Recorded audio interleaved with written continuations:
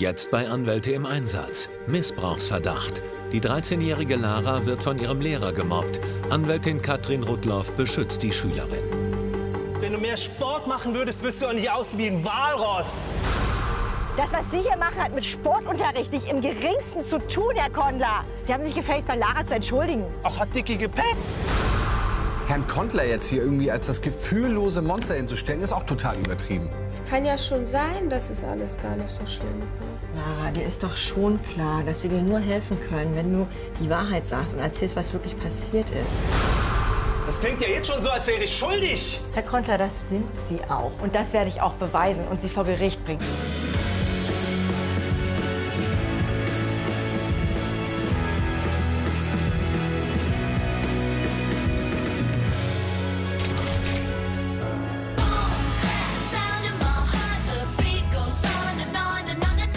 Acht Monaten haben sich Mareike und Jörn Fiedler aus Berlin scheiden lassen. Ihre gemeinsame Tochter Lara leidet unter der Situation. Früher war die 13-Jährige ein lebenslustiges Mädchen. Doch seit der Trennung hat sie fast 20 Kilo zugenommen. Das wirkt sich auch auf ihren Schulalltag aus. Denn Sportlehrer Dirk Kondler schikaniert sie unaufhörlich. Komm, Lara. Da streng dich an. Komm, komm, los, los, los, Mann. Oh Gott. Ist die bescheuert. Ihr könnt schon mal nach Hause gehen. Ihr könnt euch duschen, das war's für euch und du bleibst hier. Wieso das denn? Weil ich dir das sage, weil wir noch ein bisschen zusammen arbeiten. Hast du mich verstanden? Lassen Sie doch mal die Lara in Ruhe. Das ist schon okay, die muss mal ein bisschen was machen. Rollmipse müssen rollen, sonst hat das gar keinen Sinn. Du kannst schon mal gehen. Ciao. Hopp, komm. Los. Du frisst ja lieber, anstatt dich anzustrengen und durchzubeißen. Du machst mir mindestens zehn Liegestütze. Jetzt und hier. Los. Ich kann doch auch nichts dafür. Ach mein Gott, jetzt kommt die Nummer wieder. Würdest du nicht so viel fressen, da hättest du auch eine bessere Figur und ein bisschen mehr Selbstwertgefühl. Los, runter! Wenn du mehr Sport machen würdest, wirst du auch nicht aussehen wie ein Walross. Nimm dir mal ein Beispiel an der Emma. Los! Na, willst noch mal was? Sehe ich heute noch mal was? Gott, ich krieg's kotzen. Der Kondler hat mich echt auf den Kicker. Der macht mich nur fertig. Ich pack das, glaube ich, echt nicht mehr. Seit drei Wochen vergeht kaum ein Tag, an dem Lara nicht von ihrem Lehrer Dirk Kondler gedemütigt wird. Als die Siebtklässlerin von der Schule nach Hause kommt, möchte sie sich einfach nur verkriechen. Ihre Mutter Mareike merkt sofort, dass etwas nicht stimmt und hakt nach. Nach kurzem Zögern sprudelt es regelrecht aus Lara heraus. Ja, und das Schlimmste ist, ich hab den nicht nur in Sport, ich hab den auch in Mathe. Und morgen habe ich gleich beides. Kann ich nicht einfach zu Hause bleiben? Nee, Mäuschen, du musst in die Schule gehen. Mama, ich pack das nicht. Der war so gemein zu mir. Alle lachen mich aus. Einfach alle. Na gut, kannst morgen zu Hause bleiben. Ich melde dich krank, aber es bleibt eine Ausnahme. Dankeschön. Das sind bestimmt Papa und Sonja. Ich habe echt keine Lust, heute noch jemanden zu sehen. Okay, ich sag Bescheid. Dankeschön.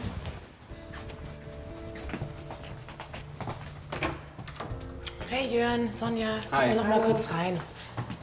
Bitte. Ich habe leider schlechte Nachrichten für euch. Dem Mäuschen geht's nicht so gut, es wird gern zu Hause bleiben, hat sie gesagt. Wieso das denn? Heute Morgen hat sie doch noch gesagt, dass sie aufs Kino freut. Ja, komm, dann gehen wir halt alleine. Folgendes. Sie war heute in der Schule und wurde wohl irgendwie von dem Sportlehrer vor der ganzen Klasse wegen ihrem Gewicht gemobbt. War ein bisschen traurig darüber, deswegen habe ich ihr versprochen, dass sie morgen zu Hause bleiben darf. Ey, das ist doch wieder typisch für dich. Ey, das kann doch nicht dein Ernst sein, Mann. Ich meine, jeder hat doch mal Probleme mit dem Lehrer. Deshalb bleibt man doch nicht zu Hause. Wenn das jeder machen würde, dann kann die Schule direkt dicht machen. Ganz im Ernst, ich will, dass Lara morgen in die Schule geht. Na, hör mal, der hat sich vor der ganzen Klasse über ihr Gewicht lustig gemacht. Finden Sie das in Ordnung? Ja, natürlich nicht, Mann. Aber warum sollen die jetzt deshalb zu Hause bleiben? Ey, du, das ist eh zu viel durchgehen. Jetzt guck mal an, ihr Gewicht. Die ist ja seitdem die bei dir wohnt komplett aus dem Leim gegangen. Ey, das geht gar nicht. Du musst ihr mal Grenzen aufzeigen und nicht mal so weich mit der sein. Sag mal, spinnst du? Ich meine, Lara braucht uns und du machst mich jetzt hier runter? Ja, weil du weich bist. Die braucht klare Ansagen und das war ja eh noch nie deine Stärke. Was soll das jetzt wieder heißen? Weißt du was? Ich glaube, das ist besser, wenn ich sie zu mir hole. Echt? Dann geht's nämlich besser. Bist du sicher, dass das so eine gute Idee ist? Ja, bin ich. Weißt du was? Ich hole mir das Aufenthaltsbestimmungsrecht und dann wird es dir wieder besser gehen. Auf gar keinen Fall. Du hast dich von uns getrennt, du hast die Familie verlassen, dann holst du jetzt nicht auch noch Lara hier weg. Raus, jetzt reicht's. Raus, raus. Seitdem er mit dieser Frau zusammen ist, ist er unerträglich geworden. Macht er ständig einen auf Obermacker, aber der nimmt mein Kind auf jeden Fall nicht weg. Das schwöre ich.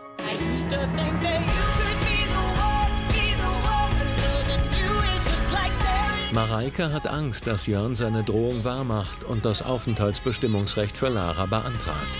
Um ihm etwas entgegenzusetzen, vereinbart die 37-Jährige gleich für den nächsten Tag einen Termin mit Anwältin Katrin Rudloff, die sie auch bei der Scheidung vertreten hat. Also Ihr Ex-Mann gibt Ihnen die Schuld dafür, dass Ihre Tochter übergewichtig ist.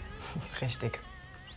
Er meint auch, ähm, ich werde ihr alles durchgehen lassen, alles erlauben und so weiter und so fort. Seit wann ist denn Ihre Tochter übergewichtig? Also eigentlich erst seit ein paar Monaten. Sie war vorher immer recht schlank. Ich achte zu Hause auch immer darauf, dass sie sich wirklich gesund ernährt. Es gibt jeden Tag Obst, Gemüse, fettiges, süßes gibt es bei uns quasi gar nicht. Kann mir daher auch nicht erklären, woher das kommt. Sowas kann auch mal organische Ursachen haben. Haben Sie das ärztlich mal untersuchen lassen? Da habe ich bis jetzt ehrlich gesagt noch gar nicht drüber nachgedacht. Aber dann werde ich mit ihr mal zum Arzt gehen und äh, schauen, ob das irgendwelche speziellen Ursachen hat. Für den Fall, dass rauskommt, ähm, dass es nicht an der Ernährung liegt, hätte Jörn da immer noch Chancen, dass Lara zu ihm kommt? Also es ist ja so, dass das Gericht Ihnen das Aufenthaltsbestimmungsrecht zugesprochen hat.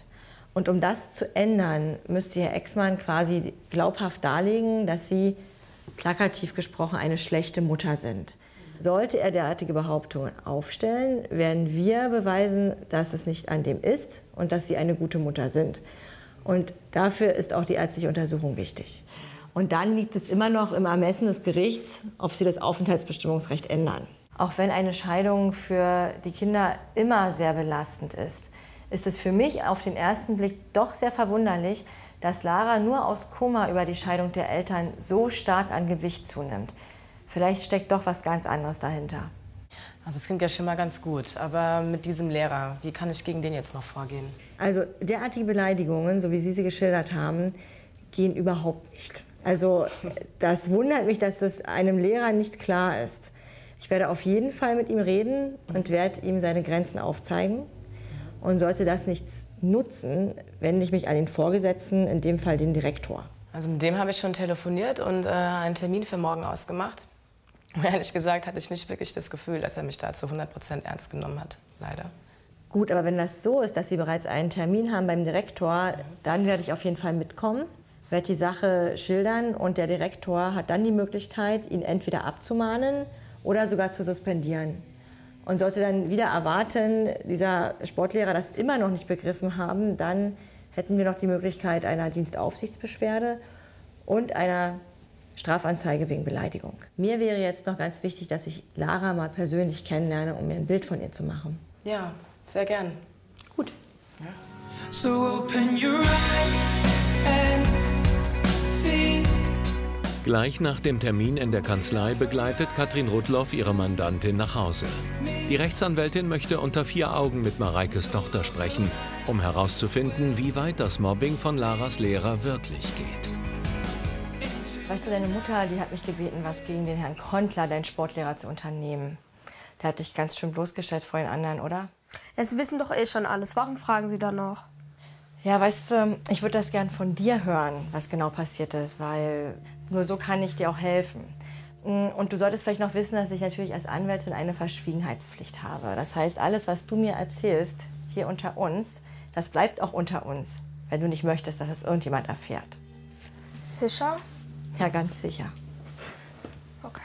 Darf ich mich setzen? Ja. Danke. Weißt du, diese Beleidigung von deinem Lehrer, die musst du dir nicht gefallen lassen. Und das scheint dein Lehrer nicht verstanden zu haben, dass man sowas nicht macht. Deswegen werde ich mit ernstes Wörtchen mit ihm reden.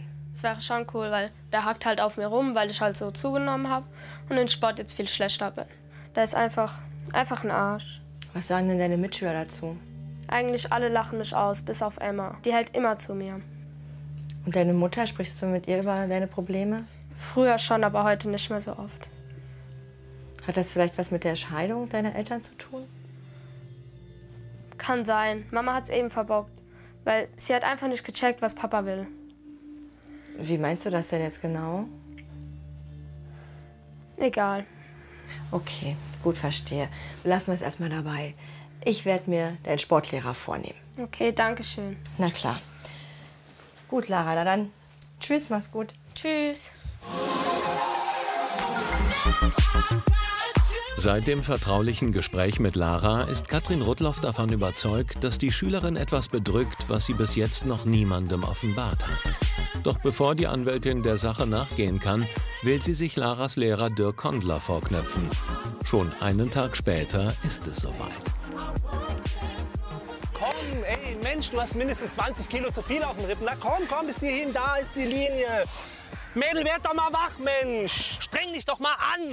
Ich kann nicht mehr. Hey, was ist denn hier los? Was fällt Ihnen denn ein? Wie sprechen Sie denn mit Was, dem Mädchen? ey, was wollen Sie denn hier? Ja, geht's noch? Hier, nimm mal, nimm mal was zu trinken bitte und zieh dich schon mal um. Ja? Wer sind Sie denn überhaupt? Was wollen Sie denn von mir? Gutluff ist mein Name. Ich bin die Anwältin der Familie Fiedler.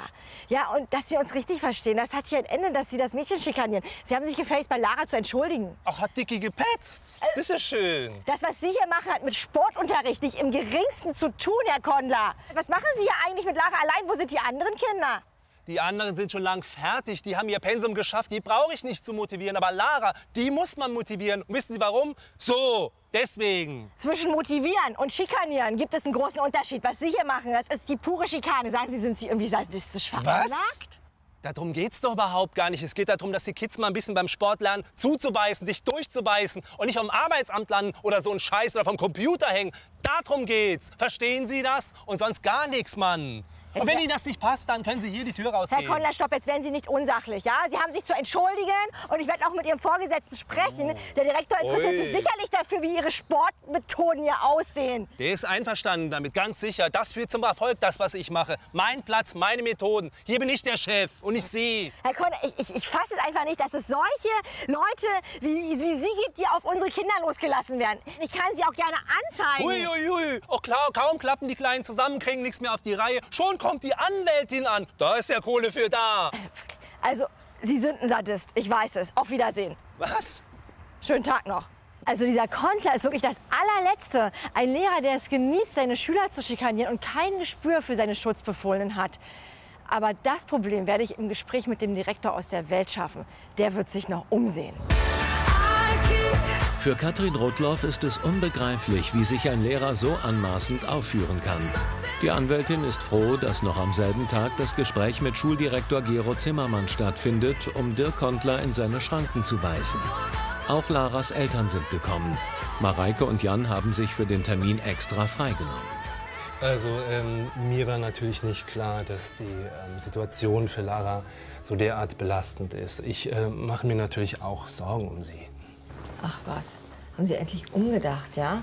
Es wurde ja auch allerhöchste Zeit, weil Ihr Verhalten ist für einen Pädagogen absolut untragbar. Ich meine ja auch nicht die Situation hier in der Schule, sondern eher die Situation zu Hause. Ich meine, es ist ja wohl ein offenes Geheimnis, dass es zu Hause nicht so ganz rund läuft. Also das ist jetzt wohl mal eine Frechheit, dass Sie das jetzt auf mich noch abwälzen. Sie sind derjenige, der meine Tochter hier fertig macht. Darum geht's. Also das ist ja wohl eine haltlose Unterstellung. Die Probleme liegen eindeutig nicht in der Schule. Herr Kontler, also mit Verlaub, ich war dabei. Haben Sie es schon vergessen? Ich habe mitbekommen, wie Sie mit Lara umgegangen sind, wie Sie sie beschimpft haben und beleidigt haben. Also ich habe jetzt ehrlich gesagt auch keine Lust, irgendwie hier private Dinge anzusprechen. Aber da muss ich Herrn Kontler absolut recht geben. Die Probleme sind bei uns zu Hause begründet. Aber das wird sich eh jetzt demnächst ändern. Das ist jetzt ein anderes Thema. Ja, und dass Ihre Tochter vom Sportlehrer gemobbt wird, das ist Ihnen egal, oder was? Ja, natürlich nicht. Aber ich meine, jeder hat doch mal Probleme mit Lehrern gehabt. Auch ich.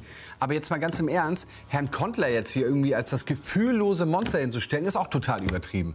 Ja, es wäre schön, wenn du mal zur Abwechslung auf der Seite unserer Tochter stehst, wenn ihr schon einen auf Übervater macht. Ja, vielleicht lässt du sie auch mal irgendwas sagen, anstatt irgendwie alles für sie zu regeln.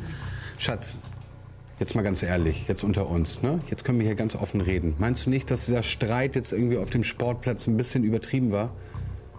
Hm? Ich meine, ich weiß, dass das jetzt in letzter Zeit für dich so hart war. Das weiß ich ja auch. Dafür habe ich auch volles Verständnis. Aber ich meine, Schuld hat doch nicht der Lehrer, oder?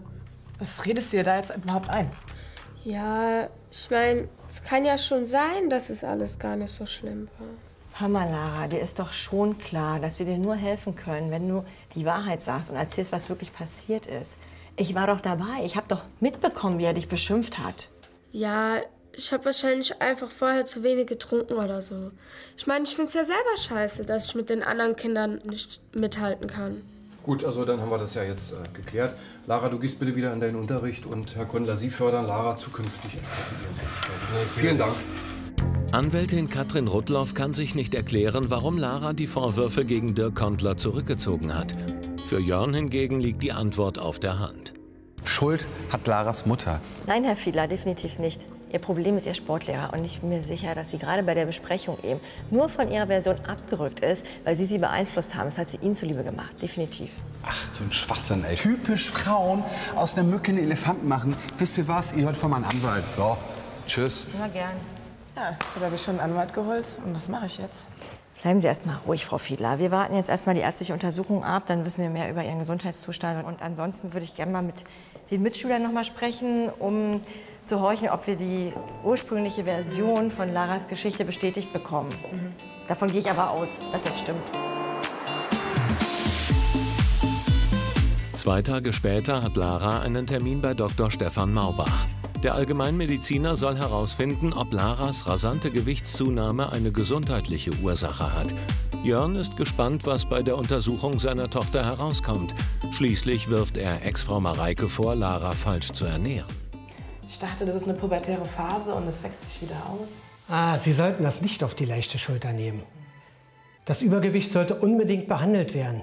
Okay, und woran liegt das jetzt bei Lara? Ja, bei Lara, ich habe bei ihr das Fettverteilungsmuster bestimmt und bei ihr liegt es wirklich höchstwahrscheinlich an der Ernährung. Sie scheint große Mengen Süßigkeiten zu sich zu nehmen. Das kann überhaupt gar nicht sein. So was gibt's bei mir zu Hause überhaupt gar nicht. Ich achte auf gesunde Ernährung Tag für Tag. Ja, ja, scheinbar ja nicht, ey. Ja. Mäuschen, komm mal her. Kann es sein, dass du woanders dann irgendwie Süßigkeiten isst? Weil Nein. Aber irgendwoher muss sie das Zeug doch haben. Naja, also mir kannst jetzt nicht in den schwarzen Peter zuschieben. Äh, wie du aus der Vergangenheit wissen solltest, gibt's bei mir zu Hause nur Bio. Du kannst mir viel erzählen, ey. Hast doch gesehen, was der Doktor gesagt hat. Mein Gott, ey, echt. Ich sag dir nur eins, wenn das mein Anwalt erfährt, der wird sich freuen, ey, ganz im Ernst. Soll er mal, Mäuschen. Also bevor das Ganze jetzt hier in Streit ausartet. Es geht hier nicht um Schuld oder Schuldzuweisung, sondern um Verantwortung. Sie sollten das Gewicht Ihrer Tochter wirklich im Auge behalten, auf ihre Ernährung achten, ein, vielleicht auch ein Ernährungsprotokoll führen. Vielleicht kochen Sie auch mal zusammen. Ich habe hier für Sie eine Broschüre, da stehen viele wissenswerte Sachen drin. Alles klar. Ich habe auch relativ Dank. genug gehört. Wir gehen jetzt. Vielen Dank, Herr Doktor. Also das ist mir irgendwie alles ein Rätsel. Ich sehe sie nie Süßigkeiten essen. Ganz selten, wenn überhaupt, zu Hause. Ich frage mich, wo sie das Zeug ansonsten her hat. Ähm, ich glaube, sie verheimlicht mir irgendwas. It seems like we've been losing control. Den Vorwurf, ihre Tochter falsch zu ernähren, kann Mareike nicht auf sich sitzen lassen. Schließlich kocht sie jeden Tag frisch und vor allem gesund. Dass Laras Übergewicht im bedenklichen Bereich liegt, bereitet der 37-Jährigen jedoch große Sorgen. Zurück zu Hause sucht sie das Gespräch mit dem Teenager. Wir haben da gerade eben gehört, was der Arzt gesagt hat. Und dass es wichtig ist, dass du jetzt auch mal wieder ein bisschen abnimmst. Ja? Ich weiß halt auch nicht, wie das passieren konnte, aber wir kriegen das schon hin. Ja, keine Ahnung, ist halt so. Ja, aber irgendwoher muss es doch kommen. Das, das kann doch nicht sein. Ey, wenn es ein Verhör werden soll, gehe ich gleich auf mein Zimmer. Ist es vielleicht, weil Papa und ich uns getrennt haben? Verheimlichst du mir irgendwas? Mir reicht's jetzt. Mareike spürt instinktiv, dass Lara ihr nicht die ganze Wahrheit sagt. Deswegen nutzt sie die Gunst der Stunde. Spinnst du, was wühlst du in meinen Sachen rum? Ich weiß ihm einfach nicht mehr zu helfen. Ich wollte gucken, ob Süßigkeiten drin sind. Ja, und welche gefunden? Nein, aber ich mache mir einfach Sorgen. Erst sorgst du dafür, dass Papa geht. Und dann du spielst du meine Sachen. Ey, ich will zu Papa. Es tut mir leid, ich weiß, Ja, es war gerade eben absoluter Mist. Lass, Lass mich mal Ruhe. reden.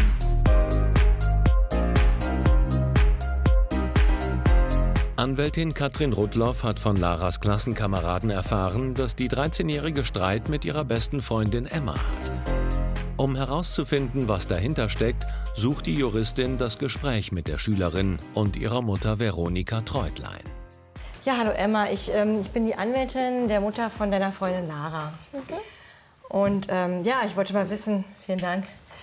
Was ist denn zwischen euch beiden vorgefallen genau? Naja, wir haben uns gezofft. Das wusste ich ja gar nicht. Ihr wart doch immer so ein tolles Team. Also die Lara, die hat mich beklaut. Was hat sie dir denn geklaut? Geld. Als wir hier waren, hat sie mir 10 Euro aus dem Portemonnaie genommen. Und was meinst du, warum sie das gemacht hat? Weiß ich nicht. Da wollte sie nichts zu sagen. Und sag mal, momentan hat sie schon ziemlich große schulische Probleme, gerade mit eurem Sportlehrer, oder? Ja, klar. Der Typ hat's voll auf sie abgesehen.